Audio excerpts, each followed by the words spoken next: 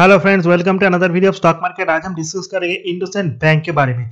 Stock आज almost 10 percent से भी ज़्यादा नीचे इसके पीछे जो न्यूज़ है, उसको हम एनालिसिस करेंगे आने वाले टाइम में क्या स्टॉक का टारगेट होगा, उसको भी देखेंगे।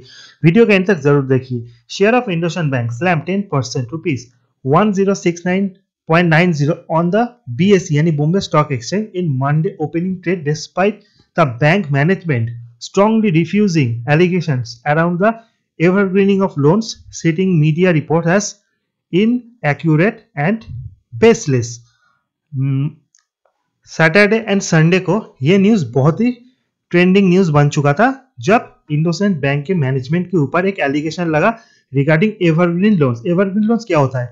ऐसे बहुत सारे लोन होते हैं जिसमें जो लोन का ड्यूरेशन होता है उसमें से इंटरेस्ट पे करना पड़ता है यानी प्रिंसिपल अमाउंट को पे करना नहीं पड़ता। इस तरह के लोन को हम एवरग्रीन लोन बोलते हैं। एंड इस पर्टिकुलर लोन के ऊपर ही एलिगेशन लगा इंडोसेंट बैंक के ऊपर। नाउ बैंक ने बहुत ही जल्द इस पर्टिकुलर चीज़ के ऊपर रिएक्ट किया है एंड उन्होंने कहा ये जो सारे एलिगेशन है वो फेक है फॉल्स है। इसके बावजूद जो स्टॉक है, उसमें बहुत ज़्यादा करेक्शन हमने देखा according to the economics times report whistle blowers several people, including a group of senior employee of Indosent Bank arms, Bharat Financial Inclusion, have alerted the Reserve Bank of India and the board of the private sector lender about lapses in governance and accounting norms to allegedly evergreen loan running into thousands of crores since the outbreak of COVID-19. For clarification purpose, Indosent Bank in a press release said that the allegations made by the certain anonymous individual purportedly acting as whistleblowers as publics in the Mumbai edition of the Economics Times on November 5, 2021, titled as Whistleblowers Raised Loan Evergreen Issue at Indocent Arms as Grossly Inaccurate and Baseless. Now, अगर आज इस particular stock के ऊपर हम देखें तो stock almost 10 percent correct है at that moment price है 1063 एंड डे लो जो है वो 1041 है नाउ अगर प्रेजेंट स्टॉक का प्राइस टू अर्निंग रेशियो देखें वो गिर है 20.99 हुआ है यानी price to earning wise stock is looking very attractive and recently stock के जो Q2 के रिज़ल्ट है वो भी शानदार थे। प्रेजेंट मार्केट कैप 82,285 इस पर्टिकुलर न्यूज़ के ऊपर बेस करके स्टॉक कितना गिरेगा कह पाना बहुत मुश्किल है। But we don't think that बहुत नीचे ये स्टॉक जाएगा। Now there is a range अगर ये स्टॉक इससे भी नीचे गिरता है यानी 800 900 तक आता है then you can accumulate this particular stock for long term at that moment no need to do anything इधर स्टॉक यहाँ से रिकवर करेगा। रिकवर करता भी बहुत ऊपर शॉर्ट टर्म में जाना इम्पॉसिबल है। एंड करेक्ट होता है देन आपको लॉस हो सकता है। सो so, करेक्शन में बाई कीजिए। जितना करेक्ट ये स्टॉक हो सके उतना करेक्ट इसको होने दीजिए। देर इज़ द रेंज उसके बाद जब इस पर्टिकुलर न्यूज़ के ऊपर लोग रिएक्ट करना बंद कर देंगे तो ऑब्वियसली स्टॉक में बाइंग आएँगे। कोई रिज़ल्ट आउटस्टैंडिंग एंड वैल्यूएशन में stock is looking very cheap अगर टेक्निकल एनालिस करें सो आई एंड एमएफआई में स्टॉक जो है वो ओवरबॉट जोन के बहुत ही नीचे।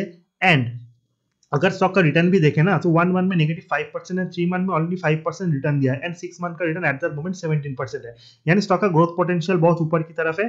सिर्फ़ इस पर्टिकुलर स्टॉक में थोड़ा पॉजिटिव न्यूज़ आना बाकी है ना। अगर इसका हम 30 day 50 day 100 day 200 day simple and expression moving average है। प्रेजेंटली स्टॉक अपने 200 day simple and expression moving average के ऊपर है बट इसने अपने 30 day 50 day 100 day simple and expression moving average को बीट किया है। So at that moment 1020 is a very important level हालाँकि आज स्टॉक जो है 1020 तक नहीं गया। अगर इसके नीचे जाता है सो 1000 के नीचे भी स्टॉक जा सकता है। यानी 1000 से लेकर 1020 is a very important level अगर 1000 के नीचे भी स्टॉक चला जाता है तो स्टॉक 800 तक भी जा सकता है, या फिर शायद 900 से स्टॉक बाउंस बैक करे। But 1000 is a very important make और ब्रेक लेवल ऊपर की तरफ़ रेजिस्टेंस क्या एट दैट मोमेंट जो रेजिस्टेंस है वो 1100 1150 1200 these are the resistance for this particular stock हालाँकि न्यूज़ जो है बहुत ही नेगेटिव है। बट अभी बैंक ने क्लैरिफिकेशन भी दिया है एंड इस पर्टिकुलर चीज़ के ऊपर जो मैटर है, वो थोड़ा लंबा चल सकता है। अगर इस पर्टिकुलर स्टॉक के हम पीएस के साथ कंपेयर करें as we can see IndusInd bank का जो वैल्यूएशन यानी price to earning twenty one के आसपास यहाँ पे H D F C ICICI bank का ट्वेंटी कोटक का 40 एंड एक्सिस का 23 सबसे वैल्यूएशन वाइज मुझे अच्छा लगता है एट द मोमेंट जो है एक्सिस बैंक एंड ये स्टॉक आने वाले टाइम में 800 टू 850 तक जाएगा। हालाँकि कोटक बैंक बहुत एक्सपेंसिव लगता है। एंड आईसीआईसीआई बैंक थोड़ा करेक्ट तो हुआ है। बट थोड़ा और अगर करेक्शन में मिले तो ये बैंक मुझे ज़्यादा अट्रैक्टिव लगेगा। अगर रिज़ल्ट को देखें इंडसन बैंक के so as I said consolidated result बहुत ही अच्छे थे। जो प्रॉफिट था 1147 करोड़ का था against thousand sixteen crore. And जो ग्रॉस एनपीए नेट एनपीए वो भी घटी थे। 2.88 परसेंट से 2.77 percent and net NPA 0.84 percent से 0.80 percent so each and everything this bank is doing very well सिर्फ़ इस एलिगेशन के ऊपर बेस करके स्टॉक ने आज हमने करेक्शन देगा from its 52 x high and thousand and thousand twenty आपको नज़र पे रखना है। अगर इसके नीचे जाता है so let the bank correct as much as possible बहुत नीचे अगर मिलता है सो लॉन्ग टर्म के लिए एक्यूमुलेट कीजिए। But at that moment no need to do anything ये था इंडस्ट्रियल बैंक वाले मेरा एनालिसिस वीडियो इन्फॉर्मेटिव अच्छा लगे। चैनल को लाइक सब्सक्राइब शेयर करना मत भूलिए। See in the next video guys till then good bye